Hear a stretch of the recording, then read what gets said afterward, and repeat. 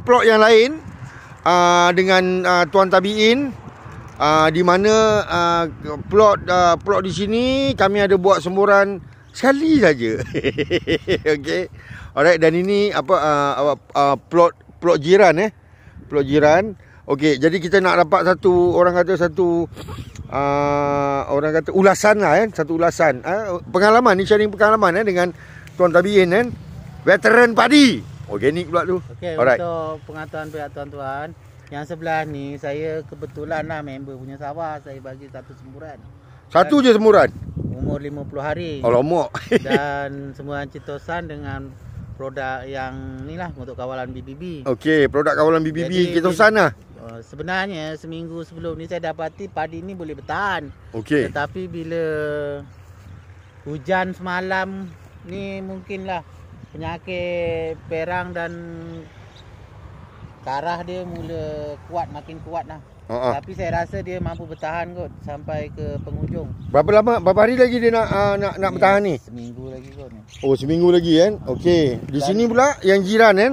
Ini blok sebelah tengok dah habis banyak tumbang, habis kena perang. Dah habis banyak tumbang, dah kena pirang dah kan. Daun-daun dia pun taklah seperti yang sebelah. Dia banyak dah rentung dah. Daun dia banyak dah rentung. Engkau apa rentung tu maksud dia apa, Bin? Putih-putih lah. Oh, berputih-putih eh daun dia kan. Dia Alright. rosak je ni kan. Ni rosak habis ni.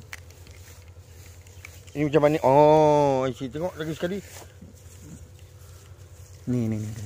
ni. Ha. Oh. Okey, ini daun dia dah rentung ah. Sebab penyakit ni dia datang ujung-ujung nak nak potong je. Allahu akbar. Ini Dua- satu cabaran lah untuk orang di sawah Dua tuan. minggu yang lalu padi ni dalam kondisi cantik sebenarnya. Tapi nak buat macam mana? Dah ujung-ujung macam ni. Okey. Tapi kita pun buat apa orang kata semburan iktisas. Kan satu saja semburan kita plus dengan apa dengan uh, apa uh, rawatan kawalan apa serangga eh. Alright seperti mana yang kita buat tadi di apa di plot sawah sepadan uh, tabiin. Okey tapi yang dekat sana kita spray banyak kali lah. Spray tiga kali. Dekat sini satu kali je. Kita spray dengan drone. Dengan drone. Ah dengan drone okey. So tapi kita boleh nampak lah kan. Ah, nanti kita akan berikan dia punya lap, apa dia punya detail punya ah, report lah. Peningkatan hasil dia. Ah peningkatan hasil kalau ada. Kita kita buat selalunya di dalam ka, ka, ka, keadaan apa uh, kita samplas uh, semburan dia rawatan dia adalah kalau paling maksimum sekali 5 kali uh, 7 kali. Alright daripada renaman benih kan 7 kali. Tapi yang ini kita buat pada hari ke-50 saja.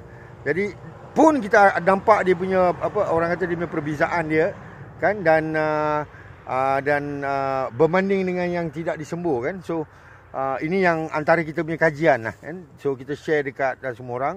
Uh, di sini apa di sebelah sini yang sebelah yang di yang telah di ini di apa di diberikan satu rawatan. Kita nampak eh dia punya kawalan rumput pun tak begitu kemas. Kan? Rumput pun naik. Okey tempat ni. Alright, uh, tapi apa dari segi keseluruhan dia kira kita harap dia mampu bertahan lah. Alright, pasal kita tak ada buat semua orang lagi dan seminggu lagi sebelum tuayan kan.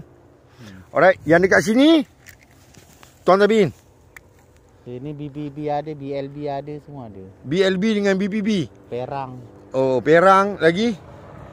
Ulat batang pun teruk. Ulat batang pun teruk kan. Okey, ini keadaan dia kan. Alright, jadi yang kita nak nak apa nak nak nak apa nak kita boleh buat satu rumusan yang yang simple lah. Walaupun satu semburan eh. Uh, kitosan plus dengan uh, apa uh, rawatan kawalan kitosan eh. Uh, kita ada dampak dia punya apa orang kata perbezaan eh. Uh, dari segi uh, apa uh, rupa eh rupa dan uh, penampilan uh, uh, uh, padi eh. Dan uh, kita harap uh, kita akan dapat dia punya um, keputusan muktamad lah. Bila tu Tabin? Dua minggu lagi okey lah. InsyaAllah eh, dua minggu lagi. Nak buat spray lagi tak sekali kat sini? Ya, Entam drone. Eh, tak payahlah. Azal, Ini wabak teruk. ni. wabak teruk eh. Bala tak boleh tolak. ah. tak sebab yang ni seminggu sebelum ni memang cantik. Okey. Tapi dalam minggu ni ada hujan siang, hujan tengah hari tu yang saya rasa dia macam dia punya serangan tu amat amat Mendadak ah. dahsyat. Ha, amat dahsyat eh.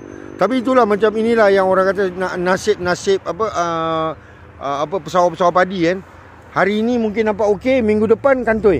Memang. Alright. So jadi kalau kita tidak ada apa membuat apa um, membuat uh, orang kata um, um, apa langkah uh, pengawalan eh. Alright, uh, kita boleh kita boleh harap dia hancur eh. Kurang-kurangnya bila kita guna projek Cito, produk Citosan ni dia organik. Jadi dia pertama murah lah, kedua selamat. Ketiga dia mampu bertahan lah. Saya cakap boleh mampu bertahan lah. Okey, insyaAllah lah nanti kita kita tanya apa kita tanya petani ni berapa dia hasil bulan lepas dengan uh, apa musim lepas dengan musim sekarang. Hanya dengan satu semburan saja insyaAllah. Alright, dan kita bandingkan dia dengan apa dengan jiran kita lah dekat sebelah nanti. Alright, terima kasih Tuan Tabiin. Okey, apa uh, cerita sikit pasal sawah sepadan. Apa yang sedang berlaku dekat sawah sepadan ni? Oh, musim ni, ha. musim ni memang mencabar lah untuk uh, penduduk sawah sepadan dengan serangan ulat batang dia dengan masalah rumput yang diracun tak mati. Dan masalah ni yang ujung-ujung ni lah bila dak menuai dia hujan tengah hari memang sawah banyak yang kena lah dengan serangan perang. Last last minute ni tak boleh nak baca apa lah.